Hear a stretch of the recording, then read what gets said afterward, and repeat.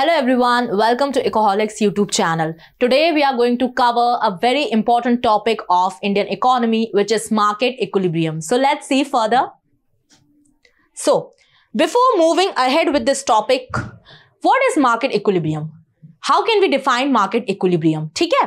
तो देखिए, सबसे पहले तो आपके दिमाग में ये आना चाहिए कि मार्केट और इक्विलिब्रियम ये दो टर्म्स आ रहे हैं इसमें।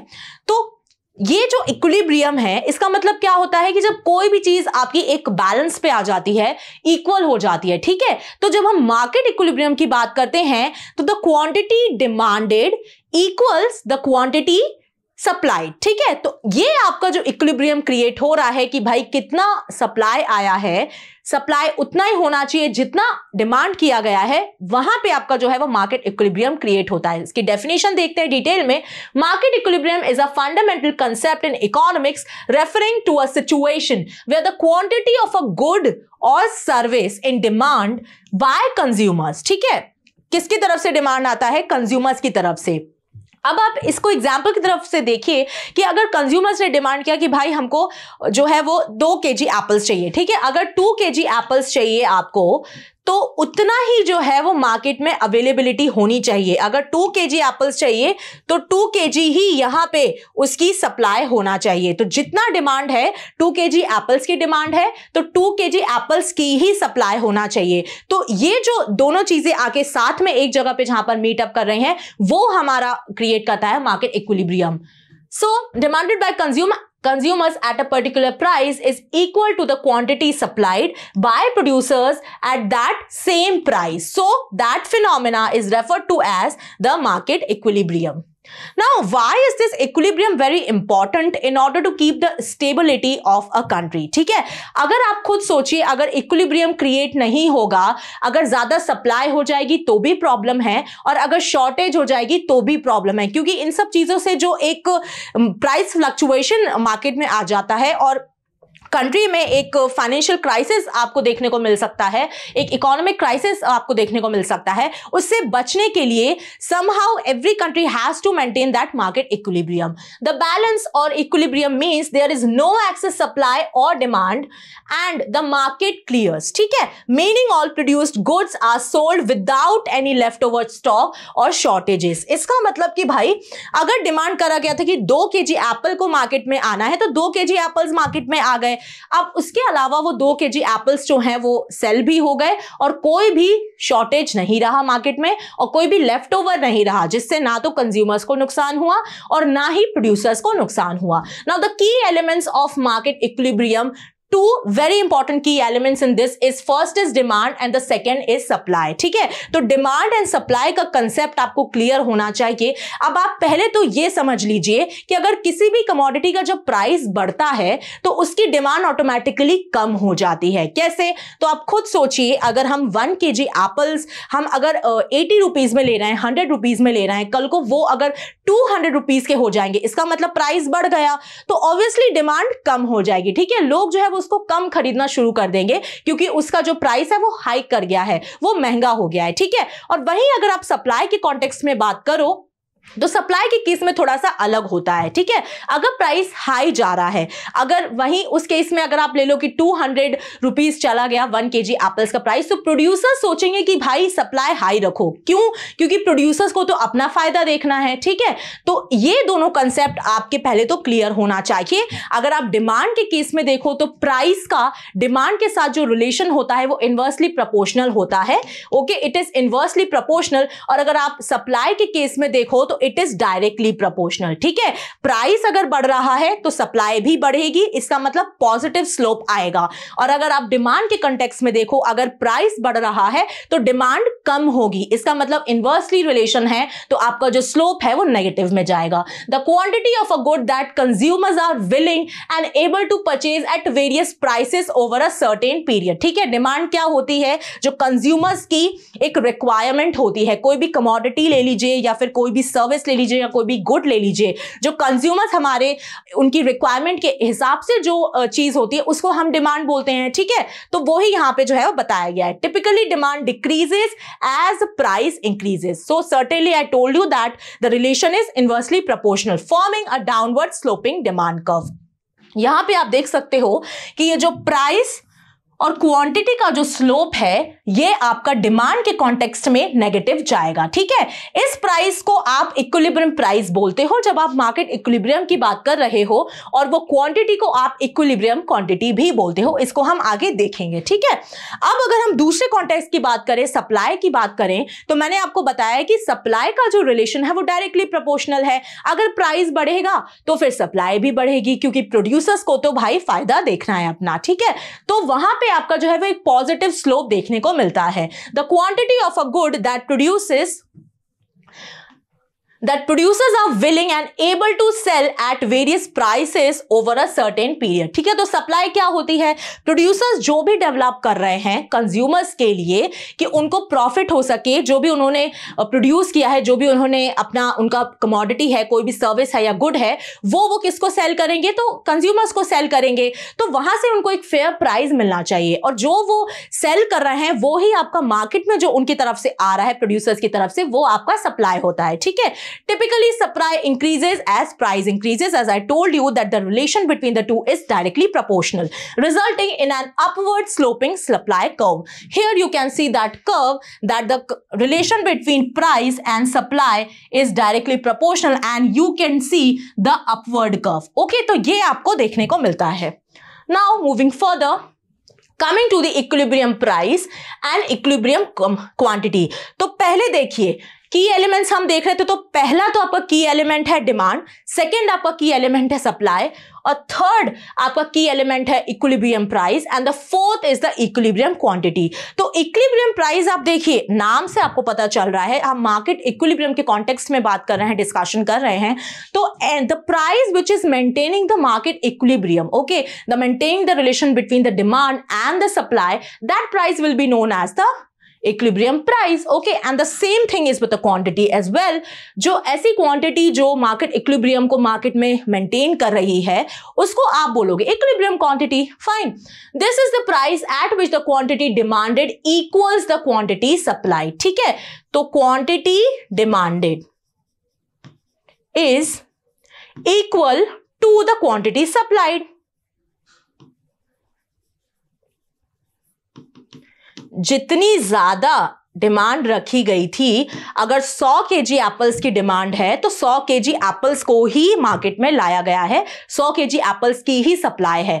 तो वहाँ पे आप उस प्राइस को बोल सकते हो equilibrium price it is sometimes called the market clearing price. Why? Because at this price, there are no shortages or surpluses क्योंकि मैंने आपको फ़र्स्ट टाइम पे ही बता दिया था in the initial of the starting of this session कि जब equilibrium maintain किया जाता है तो the things which are ensured is that there should no be like no extra production of things in the market or no extra supply or no any kind of shortage तो surplus भी नहीं होना चाहिए और shortage भी नहीं होना चाहिए ठीक है और वहीं अगर हम equilibrium quantity को देखें तो the quantity of the good bought and sold at the equilibrium price ठीक है?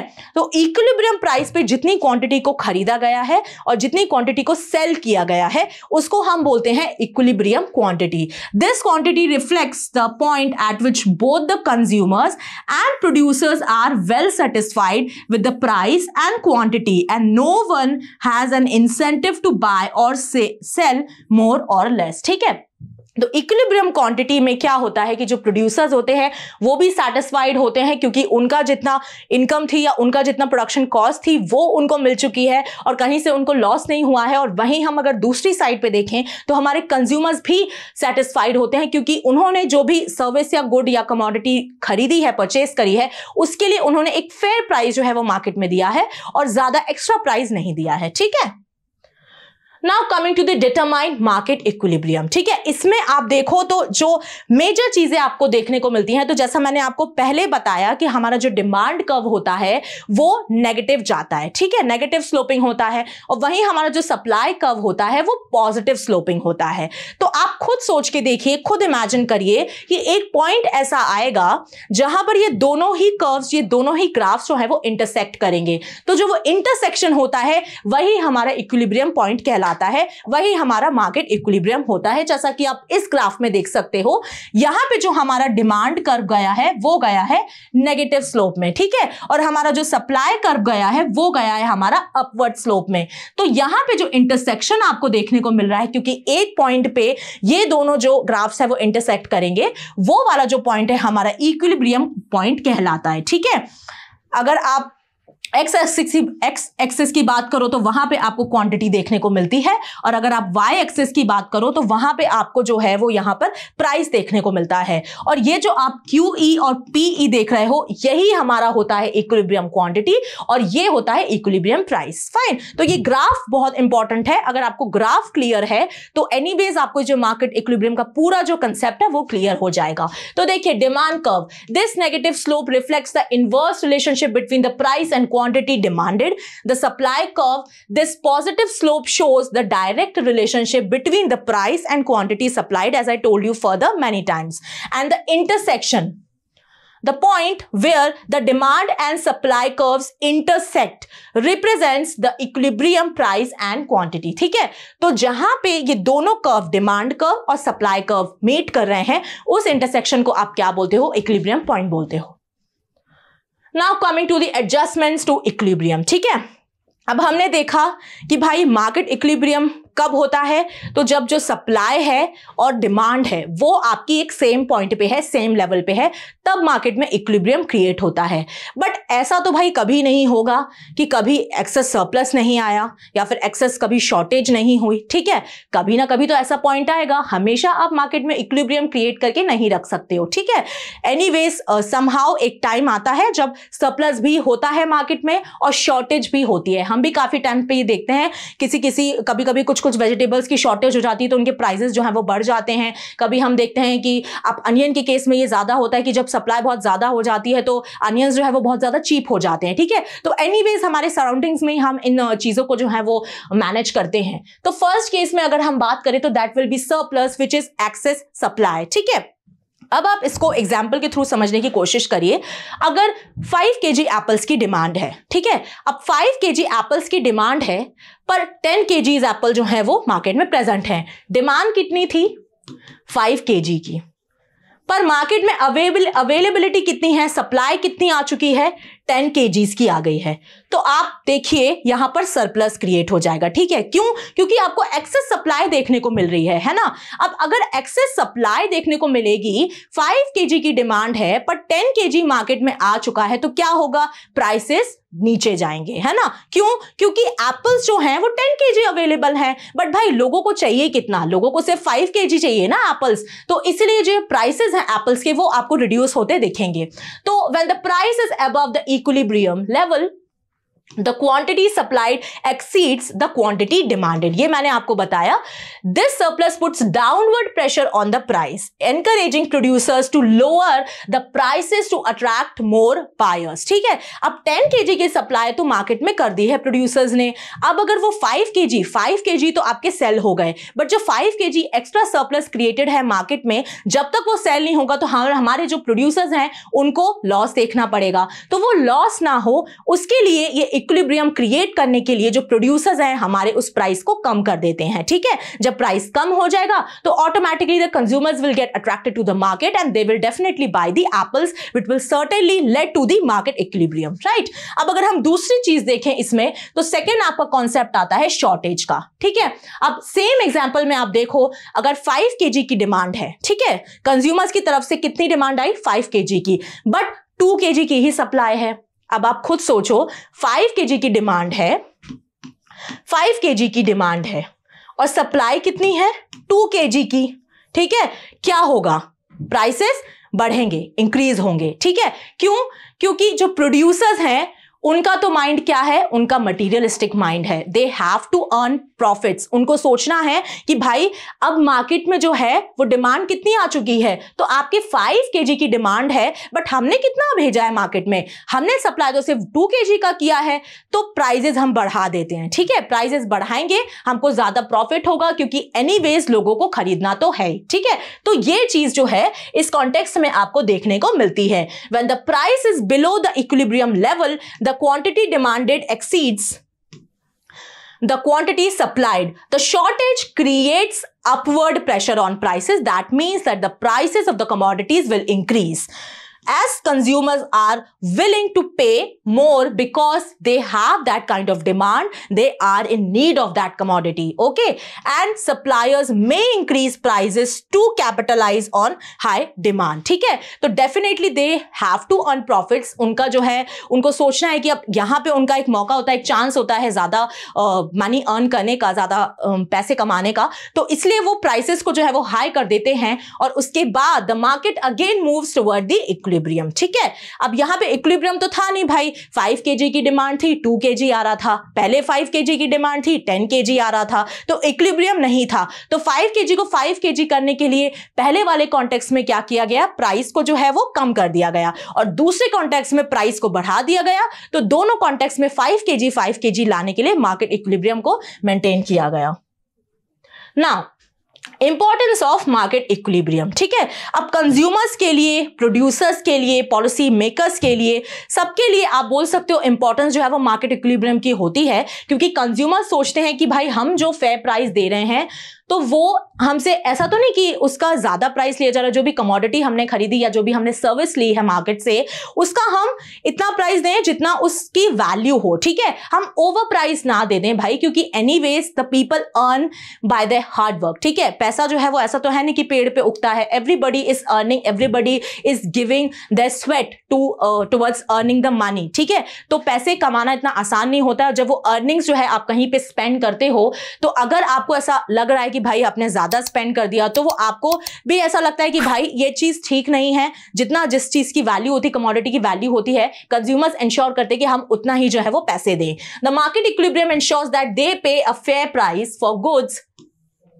and services in a free market prices are determined by the forces of supply and demand definitely and for the producers market equilibrium ensures that they receive a fair price for their goods and services so both are interconnected अगर consumers की तरफ़ से हम सोच रहे हैं तो हमको producers की तरफ़ से भी सोचना होगा क्योंकि हम equilibrium की बात कर रहे हैं तो दोनों ही आपस में interconnected हैं अगर supply नहीं आएगी तो demand कैसे fulfill होगी अगर demand नहीं होगी तो supply क्यों ही होगी market में ठीक है तो ये दोनों चीज़ें जो है वो इंटरकनेक्टेड हैं और प्रोड्यूसर्स को अगर हम देखें, अगर वो किसी भी चीज़ का सप्लाई कर रहे हैं मार्केट में तो उनकी तरफ़ से भी ये उनको इंश्योर किया जाए कि भाई जो उनकी प्रोडक्शन कॉस्ट है, जो भी उनका एक्स्ट्रा मनी जो है उस कमोडिटी को लाने में मार्केट में लगा है, उनको उस चीज़ का भी फेयर प्राइस मिलना चाहिए same as the consumers then for the policy makers a market equilibrium helps them to design policies that promote economic growth and stability ठीक है? मैंने आपको पहले बताया कि मार्केट में सरप्लस भी